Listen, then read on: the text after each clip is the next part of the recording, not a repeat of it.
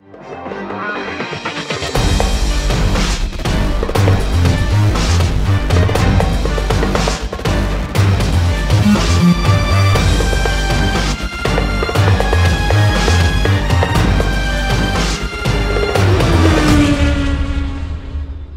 Bonjour à toutes et à tous, bienvenue depuis le circuit de Silverstone dans sa version internationale, une configuration que l'on n'a pas l'habitude de voir mais qui va accueillir aujourd'hui la quatrième des six manches de ce championnat 2016 de WTCC. On continue notre progression toujours en lutte avec les Lada d'Hugo Valente et de Nicky Katzburg, place donc à la séance qualificative, l'occasion de découvrir ce tracé un petit peu particulier ici à Silverstone.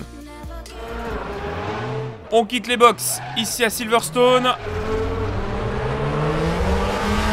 Pour cette séance qualif et ça va être difficile de trouver un secteur clair pour euh, rentrer un tour valide. Allez, on sort de la dernière courbe et on va déclencher le chrono. C'est parti On va essayer d'avoir une piste la plus libre possible. On soulage, on reste en cinquième pour entamer le premier droit. La voiture a beaucoup de couple. On repasse en 6 pour soulager le bloc. En deuxième pour le premier vrai freinage de cette piste. Et ici, au lieu eh bien, de repartir sur la gauche, on reste tout droit et on revient directement dans la ligne droite des hangars, juste après l'enchaînement Magots, Beckett et Chapelle. Premier secteur couvert, vous voyez, ça va très très vite. On va rejoindre directement le freinage de Stowe pour compléter le deuxième secteur de cette petite piste ici à Silverstone.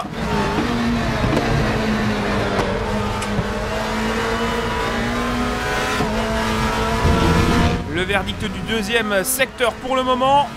Attention, on n'a plus beaucoup de carburant, mais ça n'est pas grave, on aura largement de quoi terminer. Regardez, on a les deux secteurs dans le move. Pour le moment, ça sent bon pour cette pole.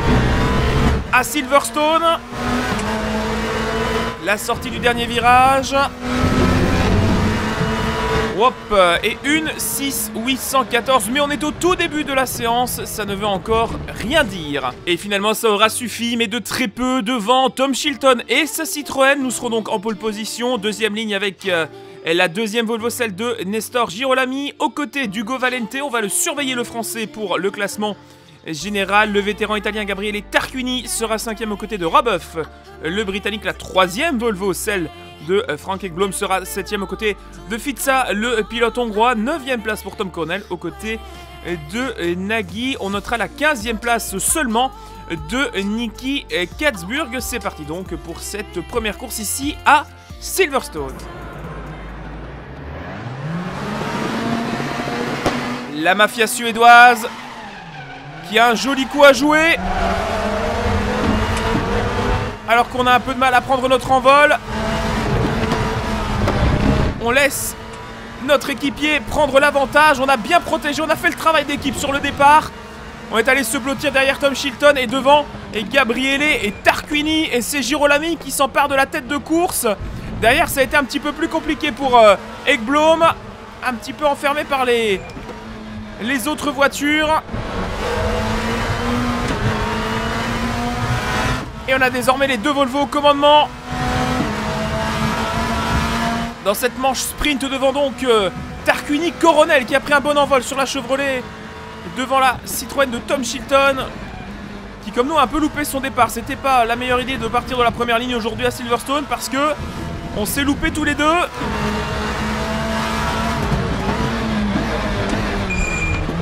On va y aller. Tarquini qui plonge. Tarquini qui se porte à notre hauteur. Il va essayer de croiser. On empêche l'Italien de passer.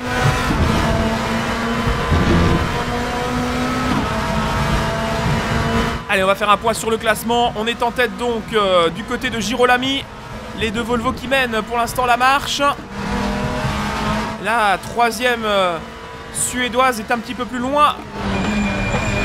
Dans le top 10. Et pour l'instant, on va essayer de trouver euh, une opportunité de dépassement qui n'est pas trop à l'encontre de la course de, Girolami qui a besoin de points. C'est clair, chez, chez Volvo, on a besoin de points après la grosse désillusion de Mid-Ohio. Mais ça ne veut pas dire que nous, on doit oublier notre lutte pour le championnat au général avec Katzburg et, Valente.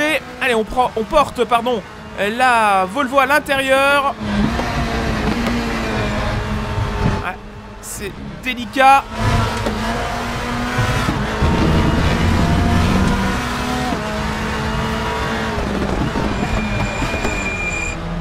Et difficile de se placer à la hauteur euh, de notre équipier pour euh, l'attaquer sans causer de drame.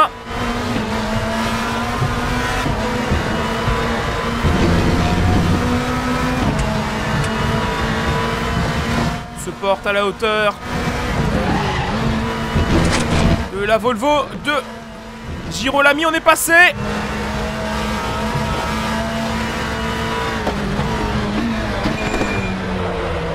On est passé en tête. Mais il n'a pas dit son dernier mot. L'Argentin.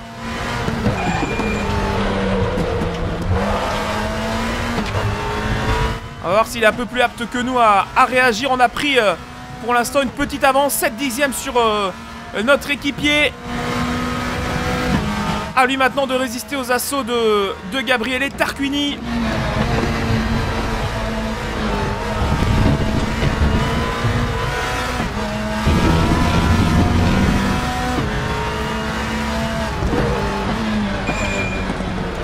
Des freinages toujours aussi délicats avec cette Volvo, un train arrière euh, très incertain, mais très plaisant au demeurant. 4 minutes 35, on est bientôt au cap de la mi-course. Nouvelle boucle couverte cette fois-ci en tête.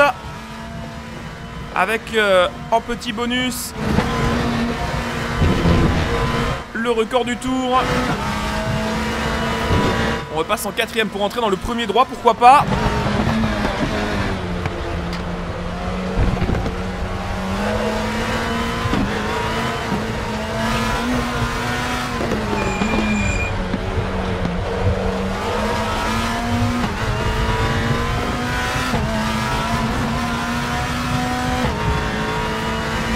Seconde 2, 3 maintenant sur Girolami. Ça continue de se passer comme il faut pour nous. On parvient à s'extraire de ce peloton. Qui euh, sera soumis à la grille inversée pour la deuxième course. On partira au huitième rang.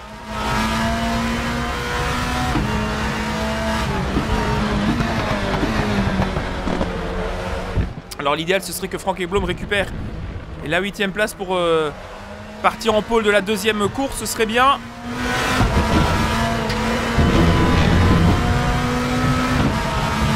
Et ça passe. Nouveau tour euh, le plus rapide pour nous. On va jeter un coup d'œil. Ah, il est dixième pour l'instant avec Blom.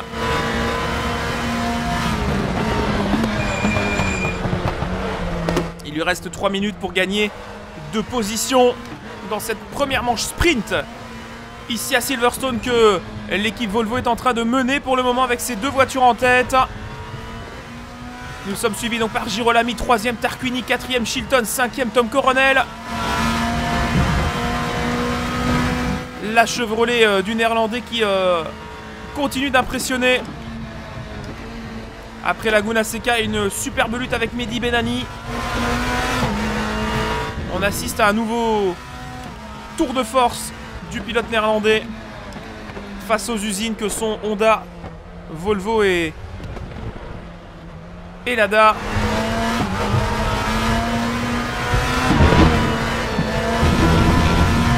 Il va nous rester 3 tours, je pense. 3 tours de course à quelques secondes près. Nous sommes toujours euh, maîtres de notre sujet ici à Silverstone. Une course dominée, ça faisait longtemps que ça n'était pas arrivé à ce point-là.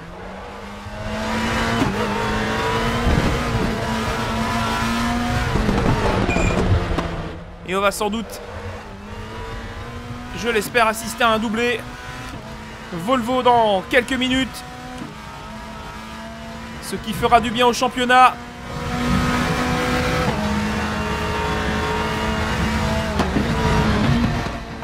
Passage en quatrième. La mythique courbe de Sto.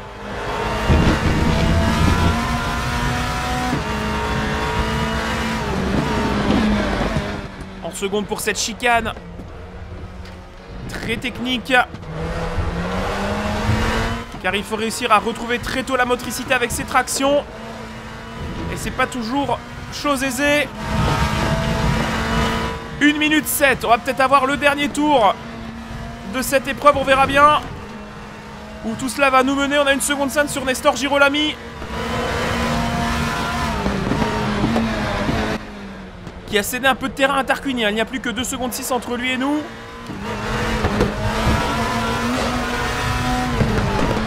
Et pour la deuxième course, on partira donc 8ème avec euh, pénalité de poids. 30 kg supplémentaires instaurés dans cette Volvo pour le vainqueur. C'est la réglementation. Vous le savez, dans cette nouvelle saison. Alors qu'il est un petit peu tôt, mais on peut déjà évoquer la saison prochaine.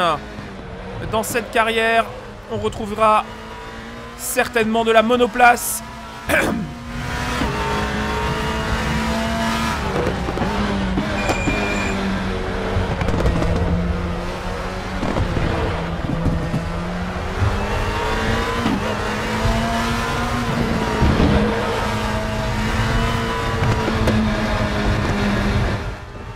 Et on va la jouer fine Et c'est gagné Eh bien, avec l'aide du chrono, on évite un tour supplémentaire ici à, Silverstone et on s'impose doublé des Volvo superbe performance. Et on notera malheureusement la dixième place de Frank Ekblom qui euh, eh bien, ne pourra pas accéder à la pole en gris inversé dans la deuxième épreuve. Deuxième place pour Nestor Girolami, troisième place pour la Lada de Gabriele Tarquini. Shilton est sur le pied du podium devant Coronel, Huff, Valente et Katzburg. Si on regarde le classement général, nous sommes en tête pour le moment et de bien belle manière avec 111 points devant euh, eh bien, les 74 du euh, pilote de la Lada, Nicky Katzburg devant son équipier à 64. On commence à pouvoir voir un peu clair et le titre se profile ici en WTCC. Mais avant de se diriger vers la prochaine épreuve, il reste euh, la manche principale de 12 minutes ici avec la grille inversée à Silverstone. C'est parti et vous imaginez bien la pression au moment de retrouver Nicky Katzburg et Hugo Valenti sur la première ligne de cette deuxième course. Robuff est troisième aux côtés de Tom Coronel qui va décidément faire, je l'espère, un beau week-end. Le euh, pilote indépendant du Roll Motorsport. Tom Shilton cinquième au devant de Gabriel et Tarquini. Les deux Volvo, la nôtre et celle de Girolami sont sur la quatrième ligne. Ensuite, eh bien, on retrouvera Montero et Ekblom. On a donc fort à faire si on veut remonter du côté des Suédoises.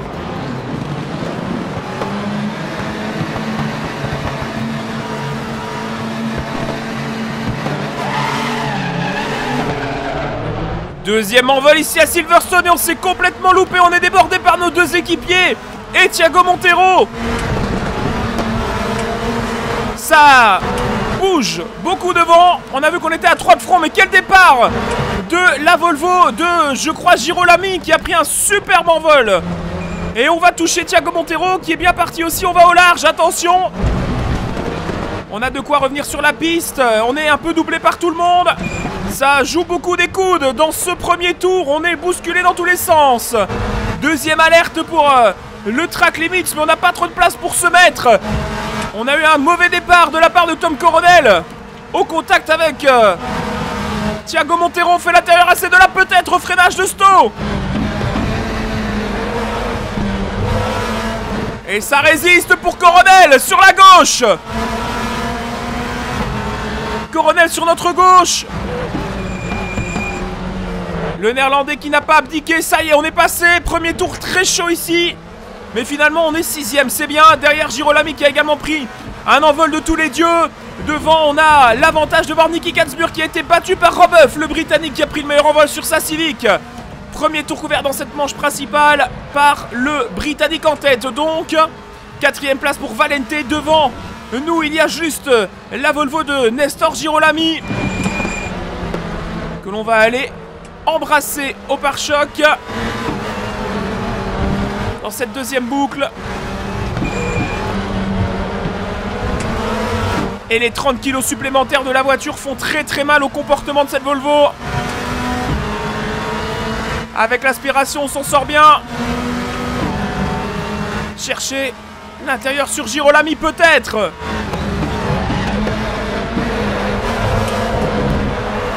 Et tout en glisse, ça passe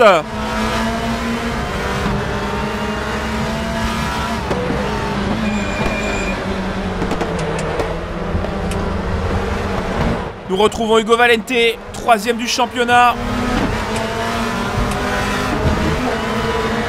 Il doit pour l'instant travailler pour son équipier, il n'a pas le choix. Katzburg, tour le plus rapide, battu euh, à tour de main par tout le monde. Finalement, il va rester chez nous pour un tour supplémentaire. On est en 1.07 ici à Silverstone, ça tourne assez fort pour tout le monde.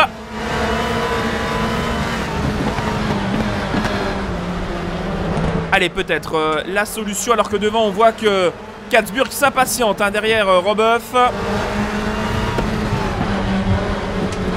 En seconde. Oh, attention, on est encore allé euh, au-delà des limites de la piste.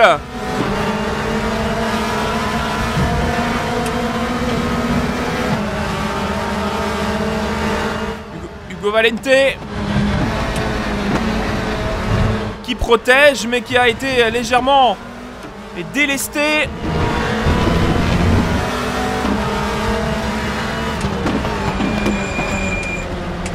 A eu droit à un drapeau bleu. Sans doute une erreur des commissaires parce que là on est tous euh, dans le même tour.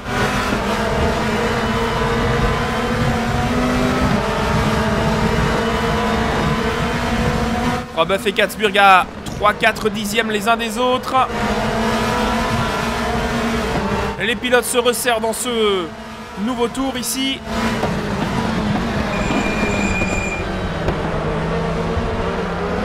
Ça y est, ça attaque Et ça passe pour la Lada du pilote néerlandais Et nous on est face au mur, Hugo Valente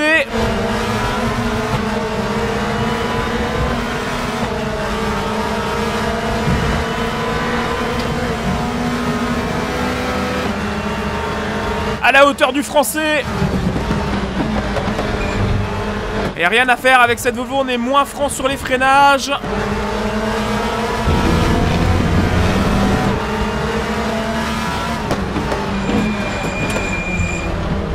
La preuve encore avec la délicatesse de cette chicane. Les freins en étaient avec le arrière qui baladait. Nouvelle boucle couverte, il reste moins de 7 minutes 30 dans cette épreuve. Nous sommes bientôt au cadre de la mi-course, 4 tours couverts par euh, Nicky Katzburg, désormais le leader devant Roboff, Tom Chilton, Hugo Valente. Nous sommes 5ème devant Nestor Girolami qui résiste à, à Thiago Montero. Il fait euh, parfaitement son rôle de soldat, Nestor Girolami pour le moment.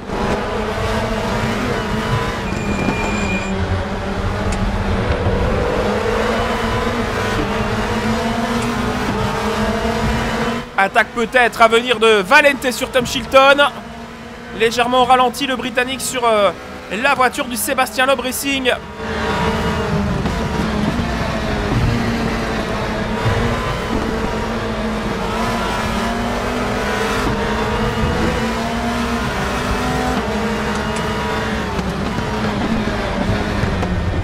Attention parce que Robeuf devant n'a pas non plus dit son dernier mot. Oh, est-ce qu'on a une opportunité? Hop Sur Valente On ouvre la porte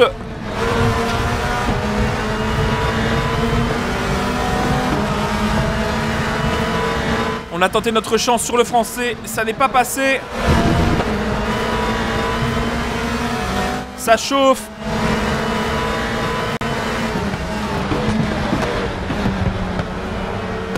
Hop, ça chauffe avec Hugo, on perd un peu la voiture. Et Girolami qui va repasser. Ah, ça c'est dommage. Et on perd du temps derrière Nestor.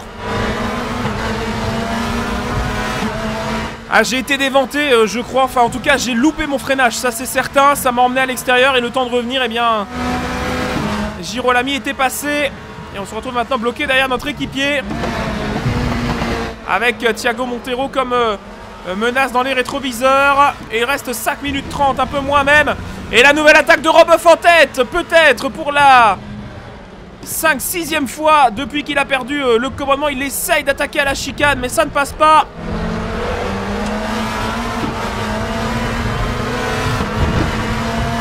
Quant à nous, on perd pas mal de temps. Nouveau tour couvert. Alors qu'on n'a pas de nouvelles de la troisième Volvo qui, à mon avis, a dû chuter dans les entrailles du peloton.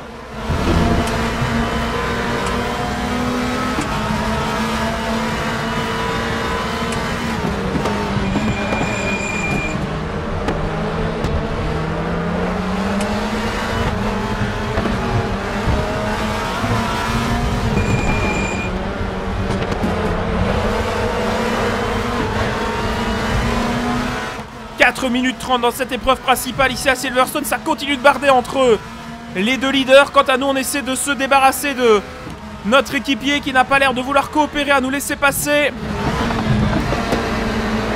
Va falloir employer la manière forte sur Girolami.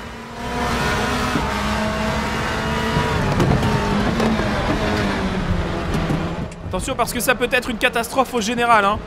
Ah, il est lent, il est lent Girolami dans la chicane. Et il nous gêne en plus.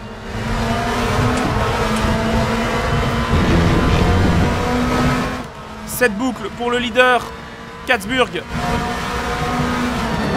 Vous avez les écarts avec Thiago Montero qui est derrière nous, qui s'affiche sur votre écran. On va essayer d'aller attaquer Nestor Girolami dans la prochaine partie du freinage.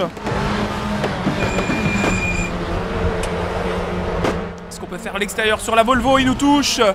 Et il continue de pousser. On est passé. Ça ne m'étonnerait pas qu'il ait reçu à la radio l'ordre de s'écarter. En tout cas, il n'a pas insisté. Ça, c'est euh, quand même euh, honnête de sa part.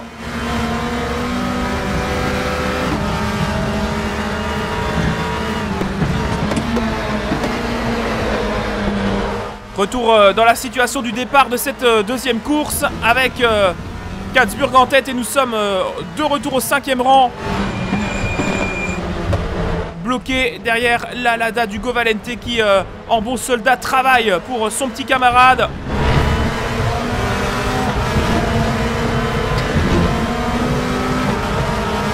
Regardez, Valente qui se met un peu à l'intérieur. Ouais, peut-être même un peu trop Va-t-on aller rechercher la quatrième position du Govalente? Qui protège Il protège à l'intérieur le français. Et devant, attention, l'attaque, c'est passé Changement de leader ici à Silverstone, c'est désormais Romeuf qui mène les opérations. Il reste 2 minutes 20 et Tom Shilton est maintenant en train d'aller chercher Nicky Katzburg qui en a peut-être demandé un peu trop à ses pneumatiques. On a un très bon run face à Hugo Valente. On choisit l'extérieur Asto. En troisième. Et ça passe. L'extérieur Asto sur Valente. Magnifique. On s'empare du pied du podium.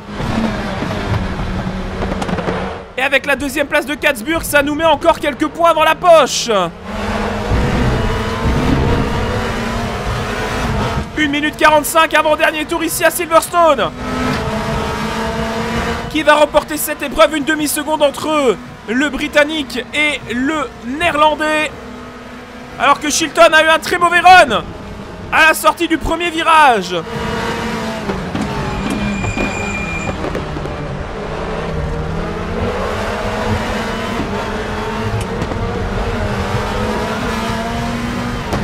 On plonge sur Shilton et ça passe Troisième position. La remontée qui continue, incroyable. Le podium dans cette deuxième épreuve avec les 30 kg de l'Est et la grille inversée, superbe. Pour le moment cette course pour nous. Devant nous, Niki Katzburg a allé chercher lui-même à l'attaque de Robeuf pour la tête de cette épreuve. C'est sa seule chance de ramener encore. Deux gros points face à nous, c'est d'aller chercher la tête de course. On risque peut-être d'ailleurs de perdre, sa deuxième place. Nouveau tour bouclé ici à Silverstone, il reste 30 secondes au moment de passer le transpondeur. Onzième et dernière boucle de cette épreuve. Avec Aniki Katzburg aux abois, peut-être pour résister. L'attaque sur le néerlandais pour euh, la tête du championnat. Encore euh, une opportunité Oh, et on est très tard sur les freins Là, on a failli se faire surprendre, mais ça passe Katzburg va-t-il aller chercher la tête de course? Il y va! Il y va, Katzburg, il passe Et on va le suivre. Et on dépose Robeuf qui cède. La tête de course, va-t-on aller s'imposer face à Nicky Katzburg dans cette deuxième épreuve? Le freinage de Sto va être décisif dans quelques instants. Attention derrière un Robeuf qui peut aussi nous mettre le petit coup de tampon qui serait fatal. Le dernier freinage. Oh, on perd la voiture! On a perdu la voiture! On l'a perdu au freinage! Et on va perdre quelques places! Allez, il faut repartir! Valente qui va passer! C'est vraiment pas possible! Quelle malchance! On a touché un peu trop les freins! Et on s'est fait surprendre dans le dernier virage! Oh, c'est dommage! Ah, j'y étais, j'y étais trop, là. J'étais trop dedans. Et finalement, Niki Katzburg s'impose et fait un gros coup au championnat puisqu'on n'est pas deuxième, on est cinquième de cette épreuve. Mais quelle finale ici à Silverstone On va évidemment euh, faire le classement de cette deuxième épreuve. Victoire donc de Katzberg avec la Lada. Deuxième place pour Roboff euh, sur la euh, Civic. Ça a été très très chaud entre les deux leaders. podium complété par Tom Shilton devant Valente. Nous sommes cinquième devant Nestor. Girolami, on notera quand même que la troisième Volvo et onzième celle de Frank Ekblom juste derrière Tarquini. Mehdi Bellani 8ème devant Tom Coronel. Si on jette un oeil au classement général, eh bien nous sommes désormais titulaires de 121 points. Et 99 unités pour euh, notre ami euh, néerlandais Nicky Katzberg. Valente 3ème, 3 petits points devant Rebeuf. Euh, derrière Michelise et 5ème devant un très impressionnant Tom Coronel, 14ème place pour la troisième Volvo en ce moment. Girolami a bien remonté, il est désormais 5 unités derrière. Sabine Schmitz voilà donc pour les classements de cette euh, épreuve ici à Silverstone. J'espère que vous avez apprécié de la suivre en ma compagnie. Ça a été très disputé. Désolé, j'avais la voix un peu cassée, je pense, à certains moments. Parce que j'enregistre cette course après avoir commenté. Donc évidemment, j'ai un petit peu souffert au niveau de la gorge. J'espère que vous ne m'en voudriez pas. Euh, on se donne rendez-vous pour la prochaine épreuve. Elle aura lieu à la maison pour nos amis suédois puisque c'est sur la piste de Mantorp que l'on va se retrouver avec au programme de nouveau deux épreuves et peut-être une première fenêtre ouverte vers le titre de champion du monde WTCC avant euh, peut-être la finale qui se retrouvera une nouvelle fois sur un circuit européen. Merci à toutes et à tous de votre attention et de votre fidélité. On se donne rendez-vous très vite pour de nouvelles aventures et d'ici là, eh bien bon amusement en piste. À la prochaine, au revoir.